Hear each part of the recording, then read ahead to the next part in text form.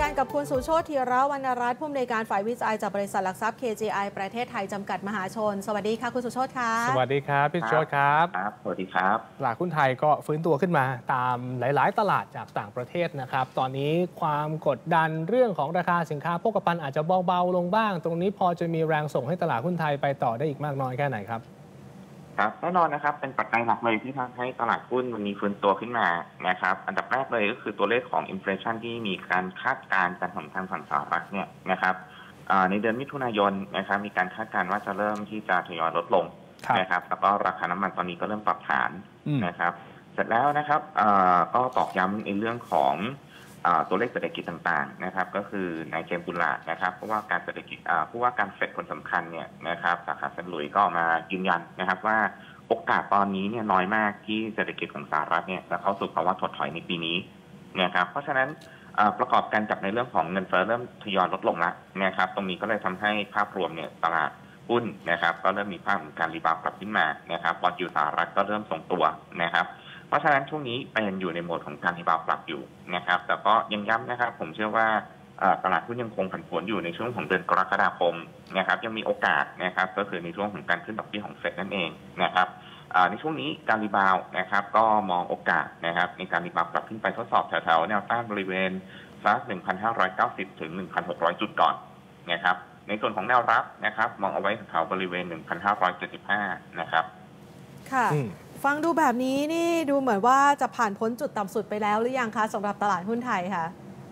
เอ่อผมมองว่าเป็นการ rebound ระยะสั้นขึ้นมาทดสอบแถวๆ1,600จุดก่อนครับนะครับแต่แล้วเนี่ยตัวเลขต่างๆคงจะทยอยออกมาประกอบกับในเรื่องของการขึ้นดอกเบี้ยอ่าการขึ้นดอกเบี้ยของเฟดอีกครั้งหนึ่งนะฮะอืมตรงนั้นเนี่ยอาจจะมีความผันผวนอีกครั้งหนึ่งได้เหมือนกันนะครับเพราะฉะนั้นในช่วงหนึ่งถึงสองสัปดาห์นะครับคือโหมดของการอ่า trading นะครับยังพอ trading ได้นะครับแต่ก็ เราก็ระวังนิดนึงในช่วงของกลางเดือนกรกฎาคมเท่านั้นเองนะครับครับ ตอนนี้มันมีข่าวมีตัวเลขอะไรสารพัดไปหมดเลยบางทีนักลงทุนอาจจะสับสนครับ ถ้าอยากจะจับตาสัญญาณสำคัญที่สุดที่ส่งผลต่อตลาดหุ้นในช่วงนี้ดูตัวเลขไหนเป็นสำคัญน่าจะดีที่สุดครับครับตอนนี้โฟกัสตัวเลขอินฟลชันก่อนนะครับ สัปดาห์นี้เนี่ยจะเป็น PCE อินฟลชันเดือนพฤษภาคมของสหรัฐนะครับจะรายงานวันพฤหัสอืม นะครับตรงนี้เนี่ยน่าจะมีนัยยะสำหรับการ trading ในช่วงสัปดาห์นี้ครับนะครับเนื่องจากว่าตอนนี้ consensus คาดว่าตัวนี้เนี่ยตัวคอพีตัวคอ PC อินฟลชันเนี่ยจะเริ่มชะลอลงเล็กน้อยครับนะครับถ้าเทียบกับเดือนก่อนหน้านี้ก็คงจะเป็นตัวที่ต้องจับตาในเดือนนี้ก่อนอ่าในสัปดาห์นี้ก่อนนะครับค่ะไปดูที่ทิศทางของราคาพลังงานกันบ้างนะคะ ช่วงเวลานี้ราคาพลังงานก็เริ่มมีการปรับตัวลดลงในขณะเดียวกันในบ้านเราก็มีเรื่องของโรงกลั่นด้วยนะคะ เราแนะนำคำแนะนำในการลงทุนในกลุ่มนี้ยังไงบ้างคะ ครับสำหรับหุ้นในกลุ่มพลังงานนะครับ ก็ย้ำว่าไปที่โรงกลั่นจะดูสบายใจหน่อยกว่าน้ำมันต้นน้ำนิดนึงครับนะครับ โดยเฉพาะอยากให้ไปที่โรงกลั่นที่เป็นลักษณะของ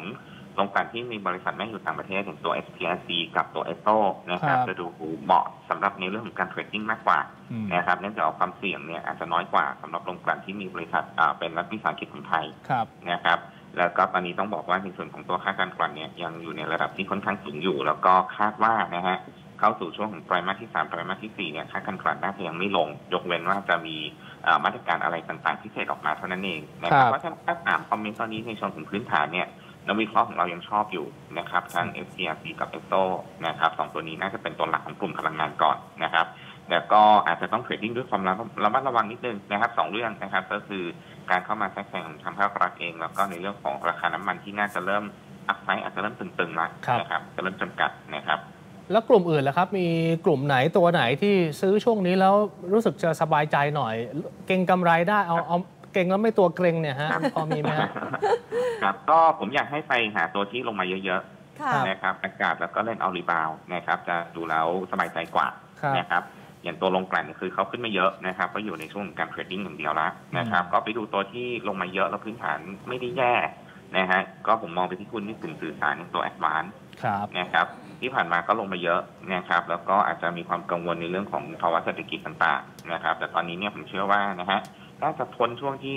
แย่ๆไปละนะครับ แล้วก็ในช่วงของครึ่งปีหลังเนี่ยการเปิดเมืองเปิดประเทศเนี่ยน่าจะทำให้ดีมาทุกอย่างกลับมาได้ครับภาวะเศรษฐกิจกลับมาเป็นปกติได้สำหรับอ่าหุ้นกลุ่มสื่อสารอืมนะฮะแล้วก็อีกประเด็นหนึ่งนะครับในเรื่องของคลื่น700นะครับที่ทางแอดวานเนี่ยอ่า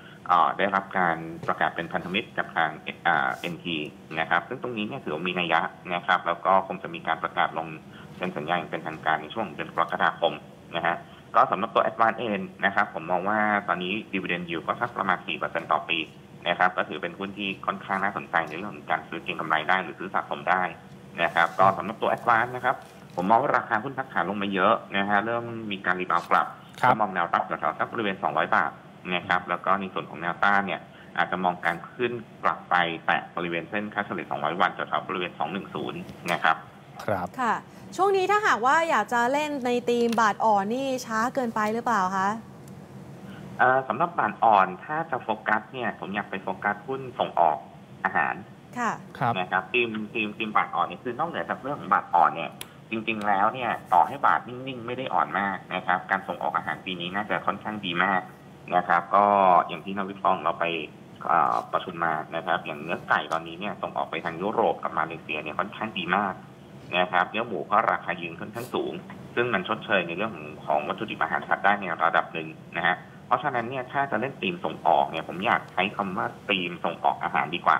ครับนะครับเพราะตอนนี้คงจะเป็น story ในเรื่องของอาหารคัดแบรนด์กันอยู่นะครับ ก็ตัวที่อ่าทางฝ่าย research CTI เราชอบเนี่ยก็จะเป็นตัว TFG นะครับแล้วก็อีกตัวหนึงคือตัวแรกการ์ดเลยคือตัว CPF นะครับซึ่งผมมองว่าน่าสนใจในเรื่องของการทยอยซื้อ คือตัว CPF เนี่ยแรกการ์ดนะครับรอสัญญาณการเบรกตรง 26.5เท่านั้นเองอืมนะครับขณะครับที่ปัจจัยพื้นฐานก็น่าจะไปในทิศทางเดียวกันนะครับ โอเคได้ครับ วันนี้ขอบพระคุณคุณสุโชตนะครับ ขอบพระคุณค่ะ สวัสดีค่ะ